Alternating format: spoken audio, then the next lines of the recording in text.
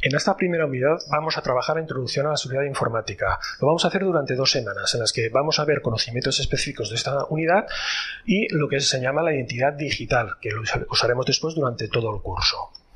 Lo primero que vamos a realizar son dos tests de la Oficina de Seguridad Internauta, dependiendo de que depende del INCIBE.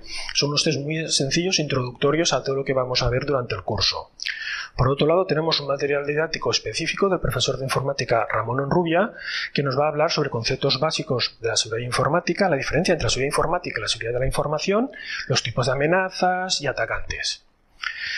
Luego vamos a, sobre estos, este trabajo que hemos realizado en, esta, en, este material didáctico, vamos a extraer algunas preguntas y las vamos a subir a una plataforma eh, online que se llama Trivinet, que nos va a permitir luego jugar entre todos las, a las preguntas que habéis, que habéis subido. Esto nos va a hacer una serie de puntuaciones y vamos a ver nuestro progreso. Por otro lado, trabajaremos la identidad digital, sobre todo la profesional. Y para ello lo que vamos a hacer es crearnos un blog que vamos a utilizar para poder publicar nuestras prácticas, noticias que nos parezcan interesantes o cualquier opinión que tengamos al respecto. Es importante que distingáis, este, separéis este blog de vuestra parte personal. Es, eh, será un blog educativo profesional.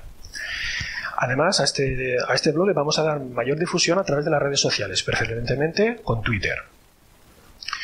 Por último, tenemos eh, una serie de recursos que se han tratado durante todas las actividades anteriores y también eh, veréis dos presentaciones que utilizo en mis clases presenciales que os pueden ayudar a comprender, a hacer una síntesis de todo lo que hemos visto durante este tema.